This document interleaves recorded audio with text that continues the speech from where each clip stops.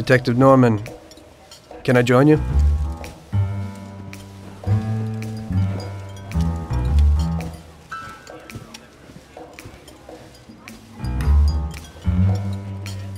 Sorry for the delay, but I didn't want anybody seeing me, if you know what I mean.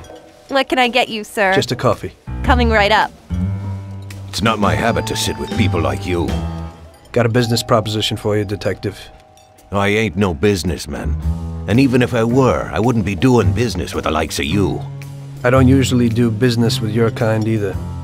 But this is a bit of a strange deal.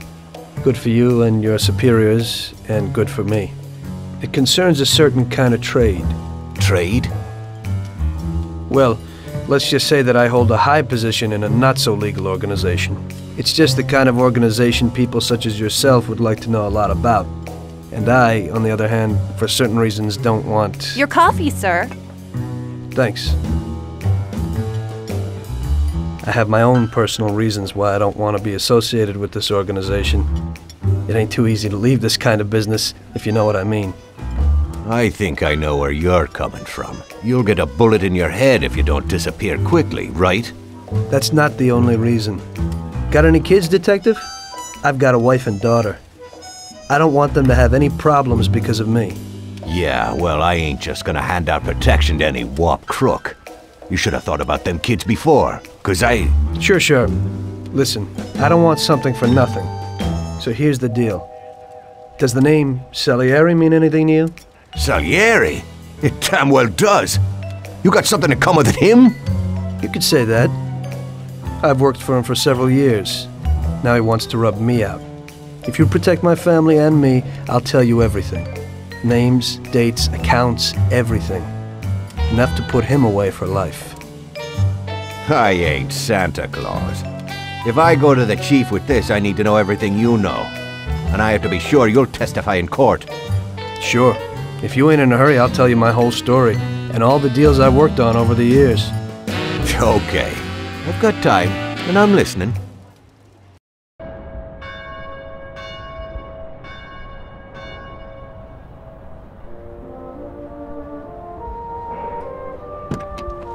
I used to be a taxi driver. Even though I wasn't making much and I worked from dawn to dusk, I was glad to be working.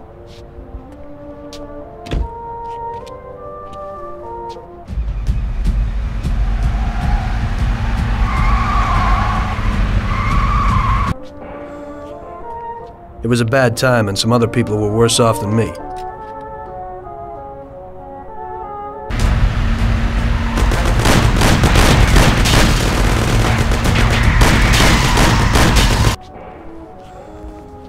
It was that very taxi that drew Salieri's people to me in the first place.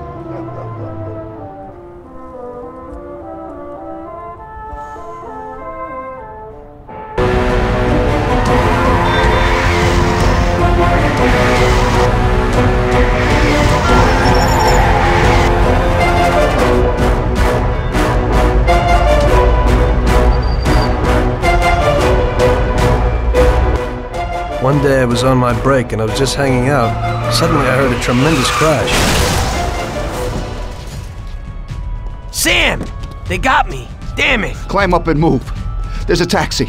We'll be okay. It was clear to me that these guys had to get out of there fast, so I thought it was best to cooperate, rather than ending up with a hole in my head. Move it. Come on.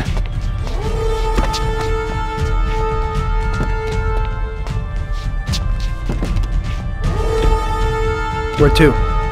Anywhere! Fast! I hope you're damn fast. Faster than Sam here was. I burned rubber out of there like a bat out of hell. It didn't matter where, just away from those gentlemen who were chasing my new customers. Now listen carefully. We gotta shake these clowns behind us. If you don't do it, then we're done for. And that includes you. Step on it, kid. Step on it or we're done for. Die!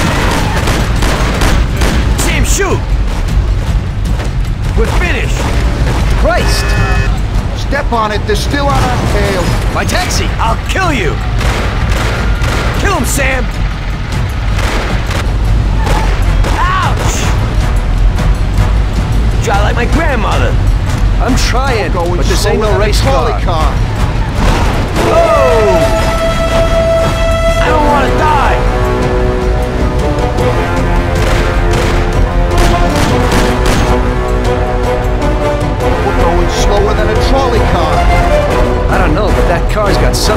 Pushing it.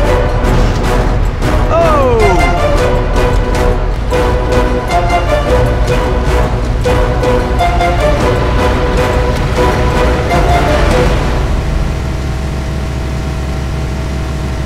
Great! We made it! Good work, brother. Now take us to Salieri's bar. I'll show you the way.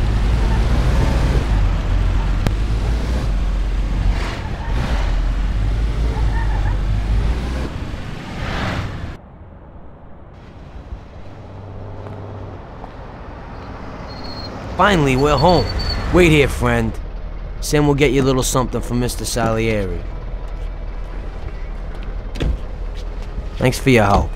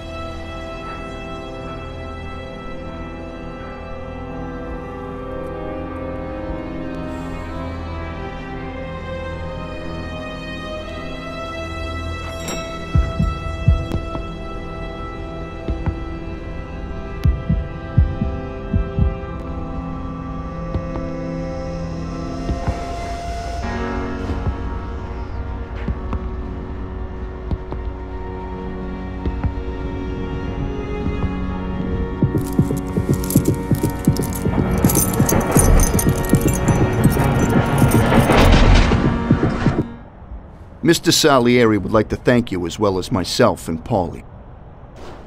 It's compensation for the damage to your car and your services. It should be enough. Yes, uh, of course.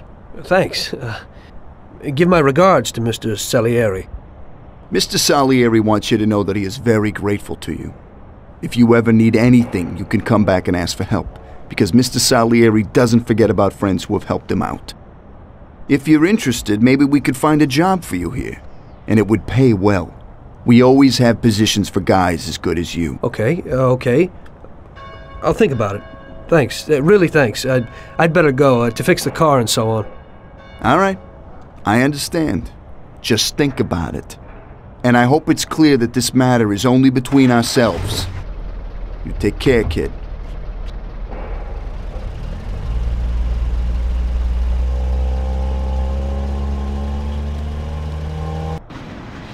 When I opened the envelope, I almost had a heart attack. There was more than it would cost to do the repairs. But I didn't for a minute think about their offer. I didn't want to join some criminals, even if they had all the money in the world. It's better to be poor and alive than rich and dead, right? I was going to get my cab repaired and try to forget it all as soon as possible. As my mother always said, you can never predict what God has in store for you.